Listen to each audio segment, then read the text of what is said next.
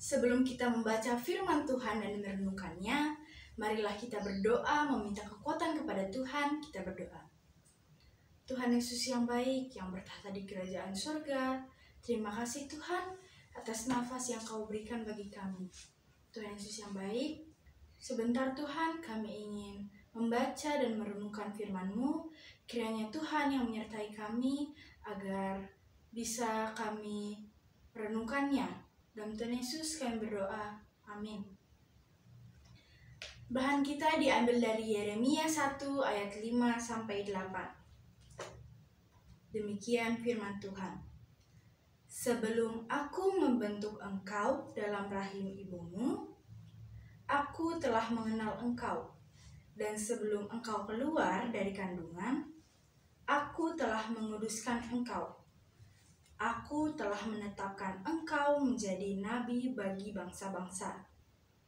Maka aku menjawab, Ah Tuhan Allah, sesungguhnya aku tidak pandai berbicara, sebab aku ini masih muda. Tetapi Tuhan berfirman kepadaku, Janganlah katakan aku ini masih muda. Tetapi kepada siapa pun engkau kuutus, haruslah engkau pergi. Dan apa pun yang kuperintahkan kepadamu, haruslah kau sampaikan. Janganlah takut kepada mereka, sebab aku menyertai engkau untuk melepaskan engkau. Demikianlah firman Tuhan. Shalom untuk kita semua. Tema kita adalah aku dilahirkan untuk menjadi berkat. Saya tidak tahu bahwa saya akan lahir dunia ini dan saya juga tidak tahu siapa yang memberikan kehidupan ini.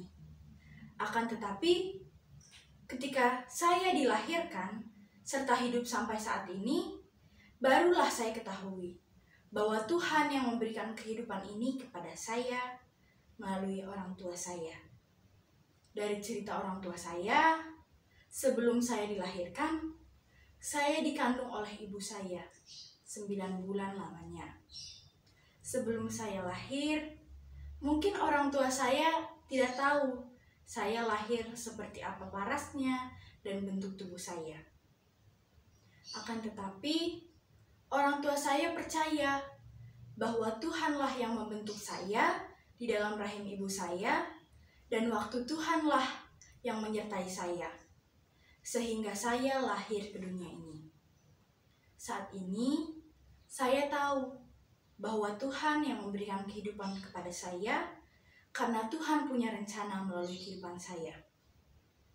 Sama seperti bahan kita hari ini yang terambil dari Yeremia 1 ayat 5 sampai 8 ini adalah ketika Tuhan telah menetapkan sesuatu, maka tidak ada yang bisa mengubahnya. Saya melihat dari apa yang dialami Nabi Yeremia ketika dia dilahirkan dan diutus oleh Tuhan sebagai nabi walaupun umurnya masih muda, tapi Tuhan yang menetapkannya. Ketika Yeremia mau melakukan apa yang diperintahkan Tuhan, maka Tuhan senantiasa menyertai Nabi Yeremia. Dari firman Tuhan ini yang bisa kita renungkan dan lakukan dalam hidup kita adalah senantiasa selalu memuji memuliakan nama Tuhan. Begitu juga menyerahkan hidup kita untuk Tuhan pakai menyampaikan firman-Nya kepada semua orang melalui ucapan kita, tingkah laku, dan perbuatan kita. Maka melalui ini kita bisa menjadi berkat keselamatan untuk semua orang.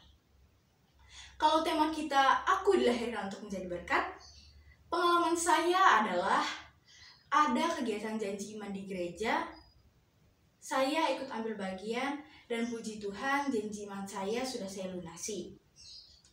Ketika pendeta kami khotbah di gereja lain, pendeta kami meminta saya membuat sebuah video rekaman. Bagaimana saya yang masih muda sudah memberikan persembahan untuk Tuhan melalui janji iman.